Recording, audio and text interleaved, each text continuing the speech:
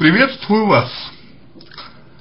Для начала, конечно, э, хотелось бы э, определить у вас э, с какого момента вы стали э, чувствовать э, потребность э, узнать, кто вы. То есть, почему у вас появилась эта потребность. Уверен, что раньше этой потребности у вас э, либо не было, либо вы ее не замечали в себе э, настолько, чтобы э, обращаться с вопросом этим к психологу. Вот. Значит, а, соответственно, что-то навело вас на эту идею, что-то навело вас на мысль о том, а, чтобы вот, значит, значит, спросить нас об этом. Что-то навело вас на эту мысль. Вот. Соответственно, нужно э, постараться понять, что именно навело вас на эту мысль, какие обстоятельства конкретно заставили вас почувствовать, что вы живете не своей жизнью, какие обстоятельства дали вам понять, что вы не знаете, кто вы, на чем базируется это ваше незнание. Это первое. Второе. А, как вы, наверное, понимаете, что когда, когда вы э, поняли, что вы не знаете, кто вы, э, вы что-то делали. То есть, ну, вы чем-то занимались. Вы какой-то деятельностью занимались, да, вы э, пытались чего-то достичь, например, например, пытались чего-то добиться, например, и так далее. И, соответственно, получается так, что вы не добились этого. Ну, если вы по-прежнему задаете этот вопрос, если вы по-прежнему не знаете, кто вы, получается так, что вы э, не, не смогли сделать то, что вы хотели. Получается, что вы не достигли определенных результатов в своей деятельности, как раз, которые, которые бы вам хотелось.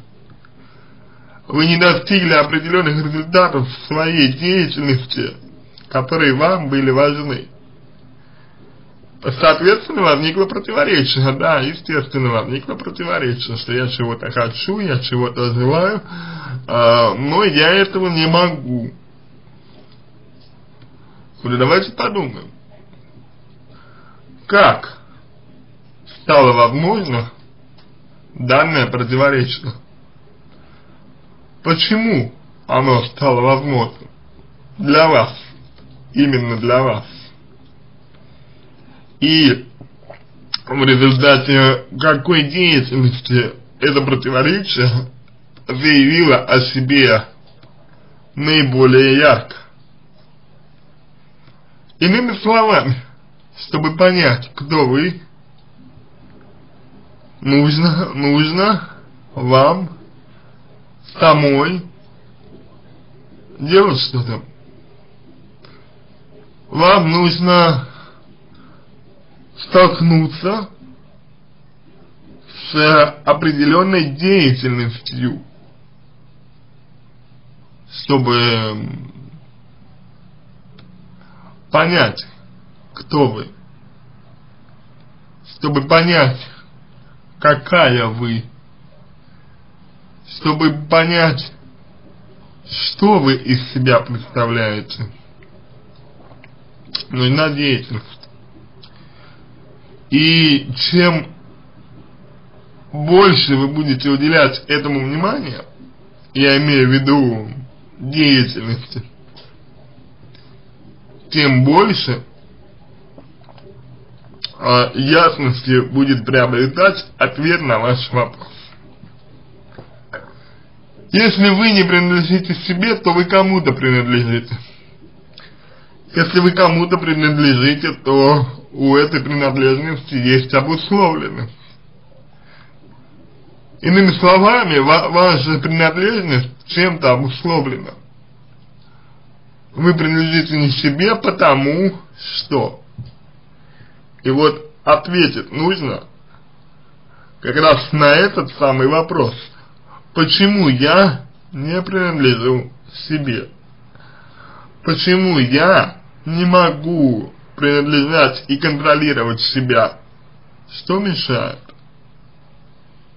И, соответственно, э, это будет од, одним из первых направлений, э, в которых вам нужно будет двигаться. Направление следующее э, гласит, что только через деятельность,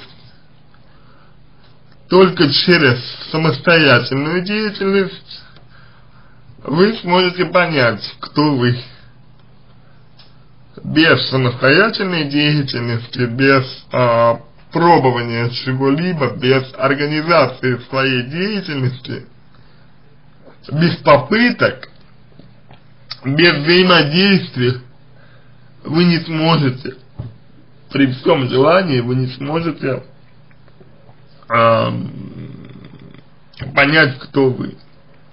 Потому что, чтобы понять, кто я, нужно пробовать себя в разной деятельности. Отсюда я хотел бы э, задать вам несколько вопросов и дать одну небольшую схемку, которая поможет вам э, найти себя. Ну или, по крайней мере, э, встать на путь этот. Итак, что вам нравится? Какие у вас увлечения? Что у вас лучше всего получается? Что бы вам хотелось? Какой вы себя видите в своих мечтах, фантазиях, мыслях? Это первое. И второе. Второе, немножечко более э, ориентировано на творческий подход.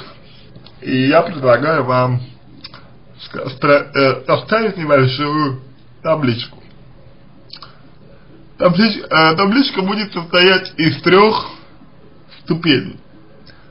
Первая и самая верхняя ступень заполняется ценностями, то есть вашими ценностями, которые вы как бы перенимаете у культуры той страны, того народа, того города, э, принадлежность которого, э, к которым вы осознаете.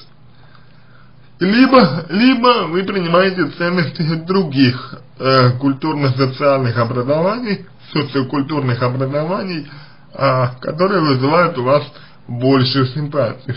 Но в любом случае систему ценностей Э, что это за ценности, нужно обязательно сформировать как можно более четко.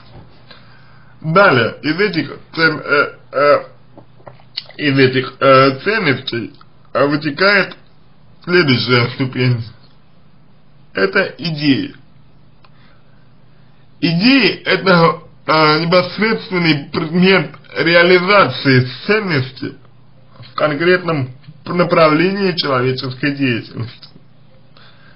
Если говорить о примерах, то ценностью может выступать гуманизм, а идеей может выступать помощь людям.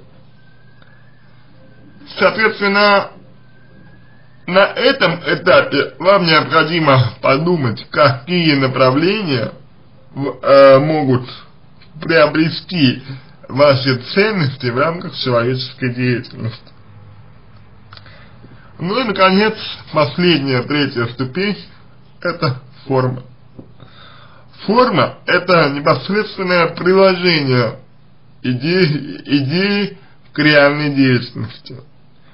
Иными словами, в моем примере, э, помощь людям реализуется через психологическую, юридическую, э, медицинскую и так далее виды помощи.